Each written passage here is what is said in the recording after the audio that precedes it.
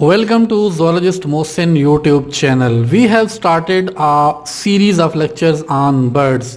Hopefully we shall cover all the aspects of birds with respect to their body systems as well as their morphology based on the academic requirements of the students during exams or as well as knowledge increase. Today we shall discuss about feathers. Feathers are very important to understand because flight is the only unique and salient feature of birds. To understand flight, we must understand feathers. Today's lecture include difference between feather and wing, structure of feather and types of feathers.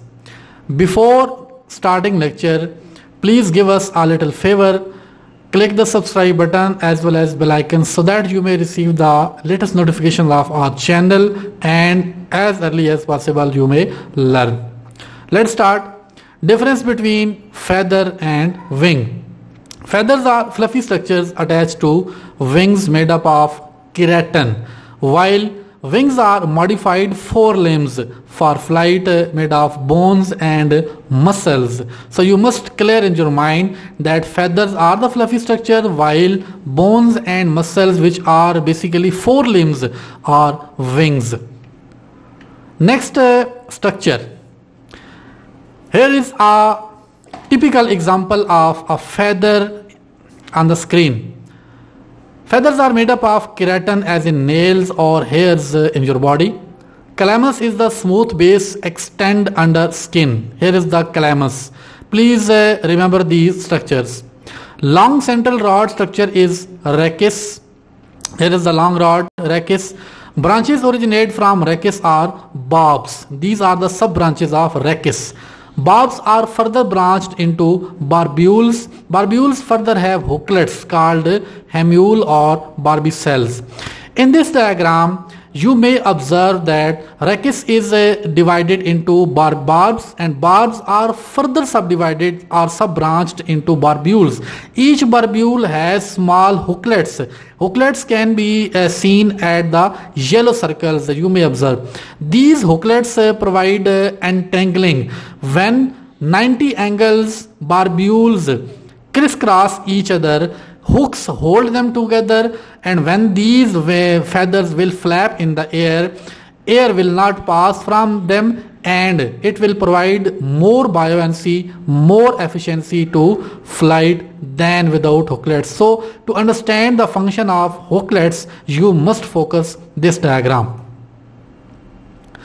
At base the unhooked barbs are downy barbs so these are the basic structures uh, present in a feather. Calamus, rachis, barbs, barbules, hooklets and downy barbs. Hope you have got the point. Feathers having hooklets and barbules are called as pennaceous. This is the basic term uh, asked in very exams. Feather without hooklets and barbules are plumaceous, just like a plume. Tracks of feathers on skin are called pterygii, while area of skin without feathers is called apteria. In this diagram, you can see the dots. These dots are basically points of attachment of feathers and you can also observe the pattern of these dots. This pattern are the tracks of feathers attached to the skin and they are pterygii while the smooth area without dots is called as apteria. Now, types of feathers. Number one, contour feathers.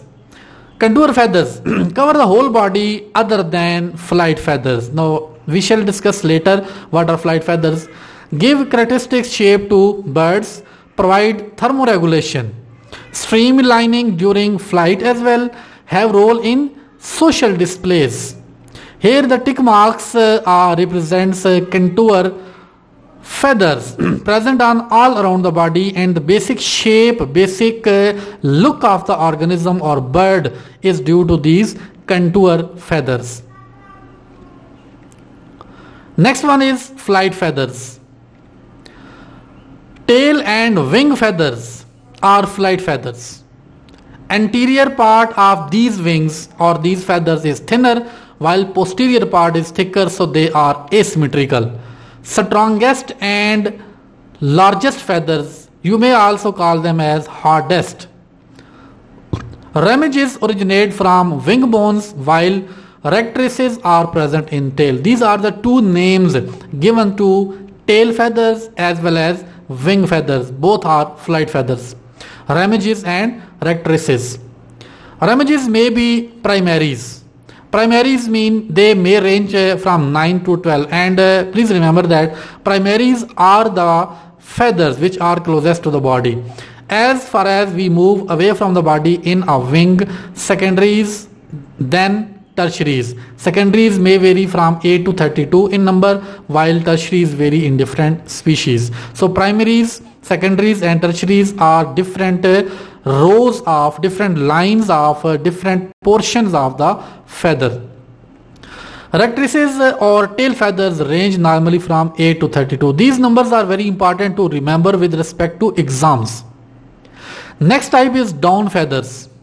Soft and fluffy. Three types natural down, natal down, sorry, body down, powder down. Natal down are present on hatchling's body. You can see a diagram in the uh, chicken. Body down lies under contour feathers while powder down disintegrate at tips to produce keratinous powder. That is the main salient feature of the powder down keratinous powder. Their tips are disintegrated which uh, create a powdery uh, substance and these powdery substances are used for uh, waterproofing by birds especially pigeons. Provide thermoregulation and waterproofing as well. Next type is uh, filoplume feathers. Hair-like and smallest of all feathers. Have rachis but no barbs. You can observe few barbs at the tips have sensory receptors near the skin at base. These sensory receptors help in detection of changes in feathers, whether the feathers are uh, low in number or they are enlarged, time to uh, break them, etc. etc. Next type is semi-plumule feathers. Semi-plumule feathers are intermediate between contour and down feathers. Lack hooklets so semi-plumaceous present at edges of contour feathers provide help to down feathers in insulation. Next type is bristle feathers. Bristle feathers are stiff rachis, lack barbs present on head of birds mostly. Rictal bristles are most common which extend at beak base in uh, fledgling birds it is observed mostly. Hope you have learned something. Our upcoming is a digestive system of birds with very impressive and marvelous diagrams and animations. Inshallah, you will learn more uh, when you will uh, At last, it is uh, requested that please hit the subscribe button and also hit the bell icon as well so that you may receive the latest notifications. Thanks for watching. Wait for the next